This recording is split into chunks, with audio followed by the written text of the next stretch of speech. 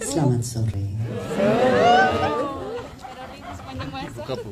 Buka Bu. Bagi para media yang kelihatan dan tidak kelihatan.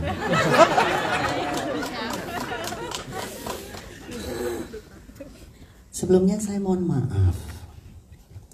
Beberapa bulan yang lalu ketika Abang Joko Anwar dan Rapi Film mengumumkan akan hadir pengabdi setan dua komunian. Begitu banyak media yang menghubungi saya untuk segera ingin mencari tahu. Namun karena saya tidak punya kapasitas untuk menjelaskan apakah boleh atau tidak boleh. Jadi saya menaruh sepenuhnya hormat kepada para produser, juga para sutradara, para pemegang keputusan untuk menjelaskan terlebih dahulu rencana-rencananya.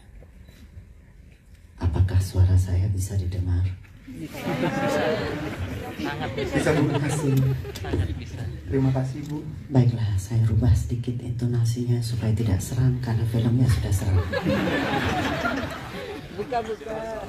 Jika boleh saya berkata jujur, sebelum pengabdi setan satu, itu saya adalah ibarat lahan yang kosong. Yang kemudian Abang Joko Anwar datang merancang, mendesain rumah. Rumah untuk saya dengan desain yang spesial.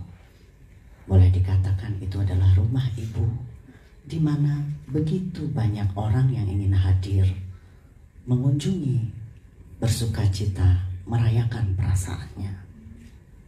Saya sebagai pelaku seni yang berdomisili di daerah sangat-sangat merasa bersyukur dan tersanjung karena Abang Joko Anwar memberikan kesempatan kepada seseorang yang berasal dari daerah untuk ikut ambil bagian merayakan industri perfilman Indonesia.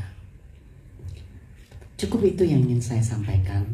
Eh, semoga harapan saya Abang Joko Anwar bisa mendesain atau menciptakan bangunan-bangunan yang lain dengan desain-desain yang spesial, desain-desain yang unik yang belum dilakukan oleh orang lain.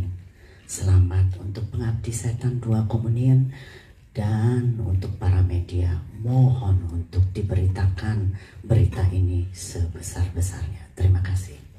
Terima kasih.